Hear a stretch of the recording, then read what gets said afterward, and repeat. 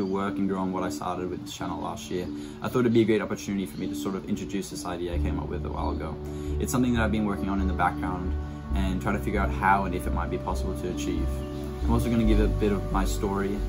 Um, so for those of you who don't know, I grew up on a little island in the Indian Ocean called Bali. I grew up surfing and enjoying all the wonders the ocean has to offer and I've always had a passion for it.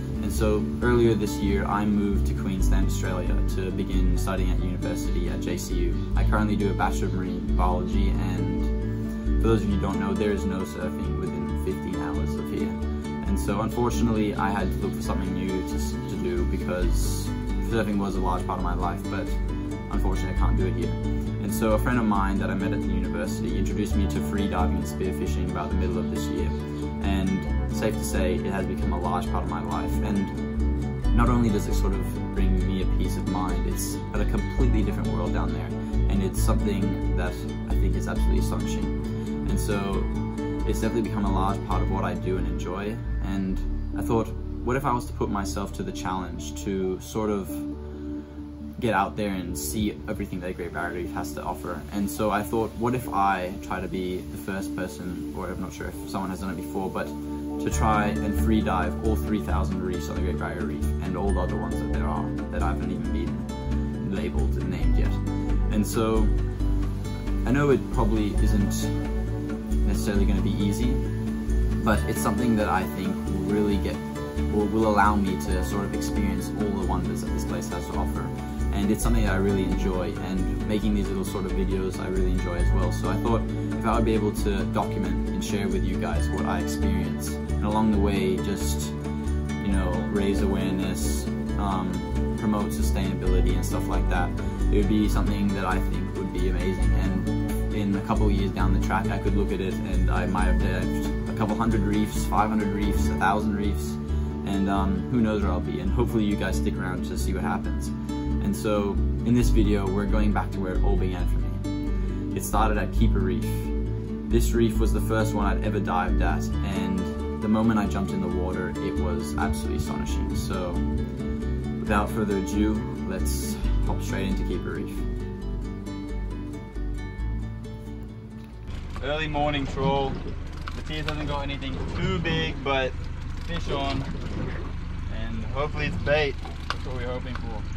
Oh, it's a long fin. Long fin. No. Yeah.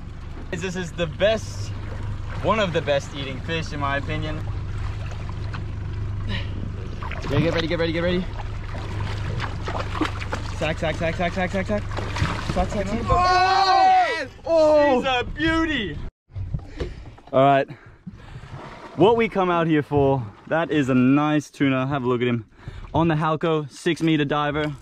Honestly, we've been using them recently and you never know what you're gonna catch. Like we've got GTs, that on it. We're so happy. They're doing us some good.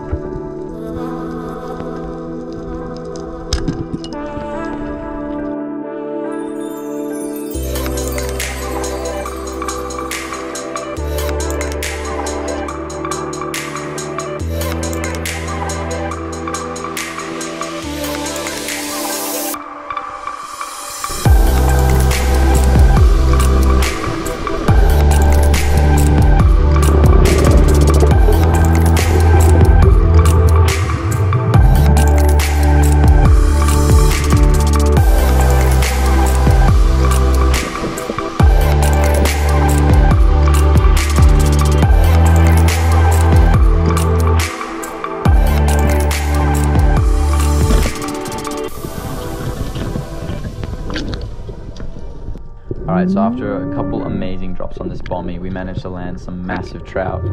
And halfway down, I see a big Spanish come past. I ended up shooting it, but the speed didn't go all the way through. I ended up stoning it, and it sank down to 27 meters of water just off the side of the bommy that we were diving at. And this is me diving down to try retrieve the fish. About 10 meters off the bottom, I run out of line, and I just had to detach my float and everything and then you see I have to do a second dive, swimming down. I was already at this point completely out of breath, and I put a second shot in the fish, like that, then pulled him out of the rock, and after about five, ten meters of pulling him up, I just realized that I can't do it, and just my instinct kicked in. I just dropped the gun, dropped the fish, just kicked, kicked as hard as I could, and I thought I was just gonna lose it at that point. I was completely out of breath. You can see the bubbles, and then from Matthias's perspective, you can just see that I'm just fluttering my arms, just trying to get up there as fast as I can. Mask fell off, everything was coming off, and I just got up, took a big breath, and I was just honestly happy to be alive. And you can see I was honestly struggling pretty bad, and um, it was just crazy. At this point, I was just up there with Matthias, making sure I was alright. And then moments later, Matthias takes his dive. He gets down there, and literally just in the background, you can see a big bull shark right there, moments away from the fish. If it wasn't for that perfect timing, would have lost my gun, the fish, everything. Luckily, he wasn't aggressive, just went away straight away. Matthias pulled the gun up, and then I met him about five meters off the surface. I was still completely out of breath. I was just recovering, and um, you can see me sort of doing some weird stuff there, but I tried to grab the gun off him so that he could make it to the surface first. And pulling this fish up, we we did it together. Teamwork made it happen. And honestly, we were just so glad nothing went wrong and pushed ourselves pretty hard. Never did, never dived 27 meters before, but um, what a great fish, and just glad that it all worked out well. So yeah.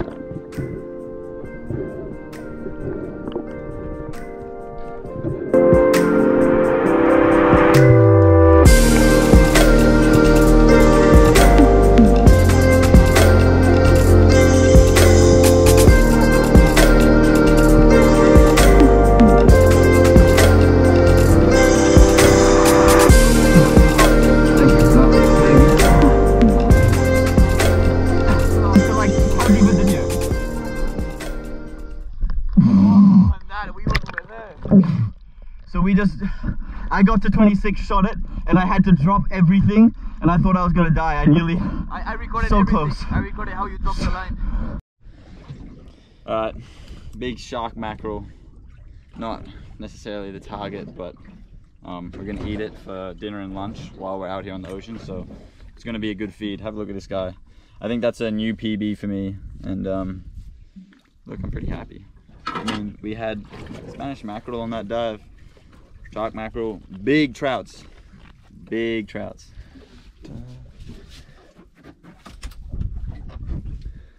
And Romeo's sleeping like always. All right, Matthias has just caught a red throat.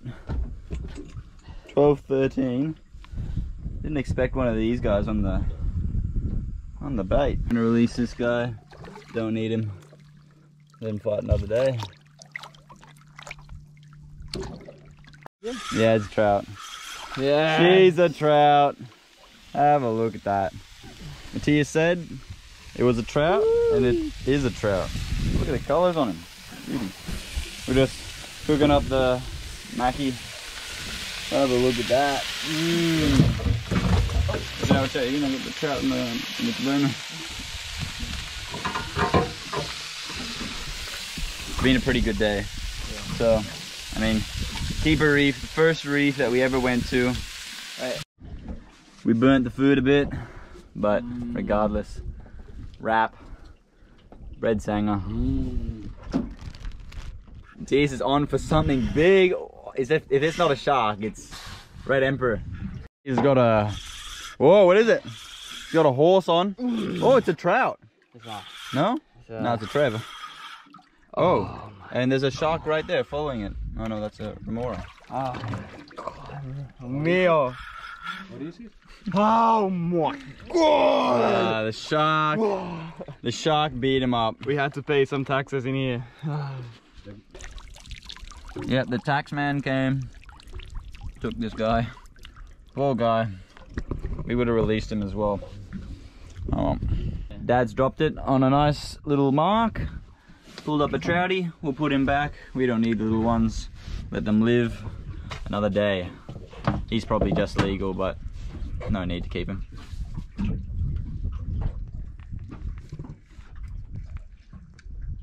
Watch out, Dad. He's gonna spine you.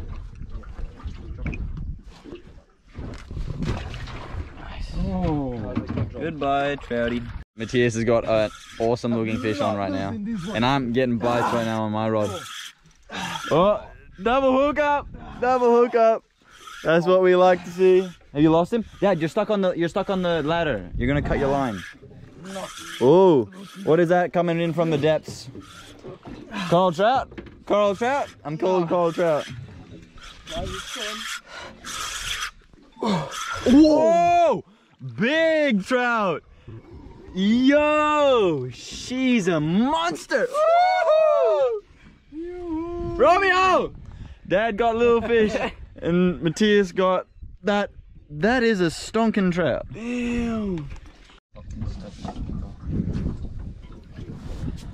Matthias has been on with the fish today. I mean, all of us have.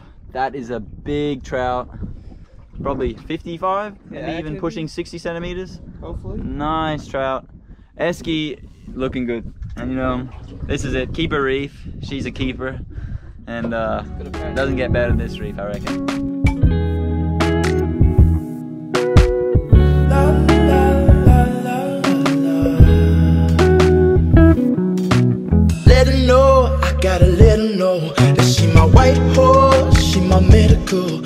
My baby mama, know how to take care of me. Give my baby problems, you gon' regret everything. So I let her know, gotta let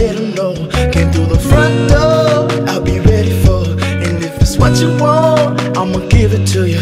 Yeah, promise, I'ma give it to you. Miss that smile.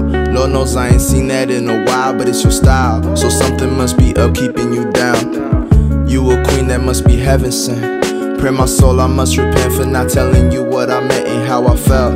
Honestly, I'm used to throwing wishes in a well. My conscience tells me that I could have helped without fail. Actions speak louder than words, and that's a lesson that I learned all by myself. Alright, afternoon troll. Romeo's hooked on in the middle of oh, winding the rod in.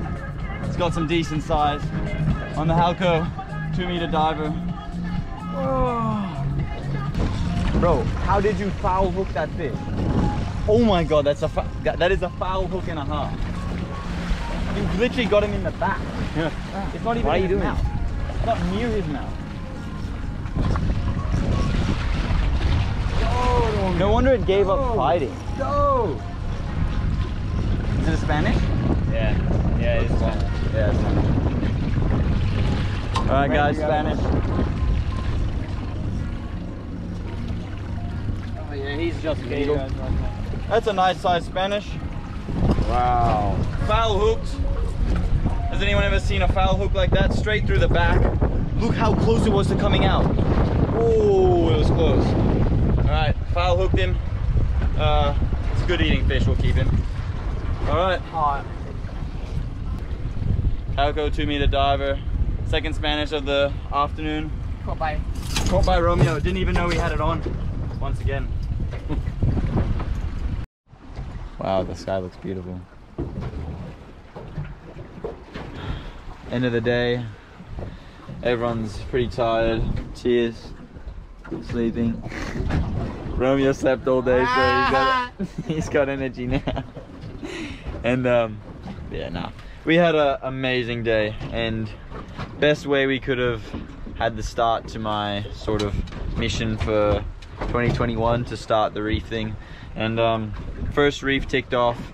It started all here at Keeper Reef earlier this year. It was the first reef I dived, and it was just amazing. Like I fell in love with it the moment I jumped in the water, and this trip has just blown me away because it's been the best trip we've had here. Like we've never had a day where we've gotten so many fish at Keeper. We've usually gone to Lucinda and stuff. So I'm blown away, and I just love it. I love it so much out here. Alright, good morning. I'm absolutely knackered. Everyone's still asleep.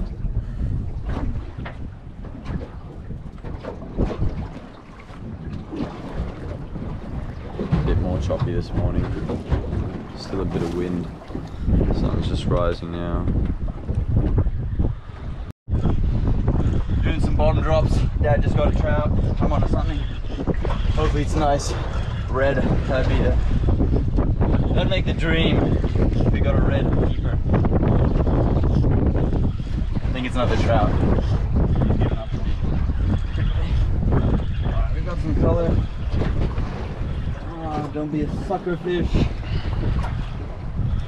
Oh, big trout. Woo-hoo-hoo. Big trout. Have a look at it. Oh, I can't get his tail.